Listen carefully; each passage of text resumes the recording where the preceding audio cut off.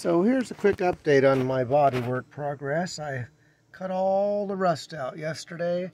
I completely removed the rocker panel of the van and I made a long piece of, uh, I guess it's 12 gauge, 105 thick. And uh, I, I fit, had to fit it around the, the box where the hinge, the box where the hinge goes in. I had to fit it around that.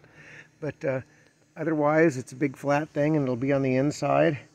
And then I created that small piece there and that'll replace a rusted part that was in the inside.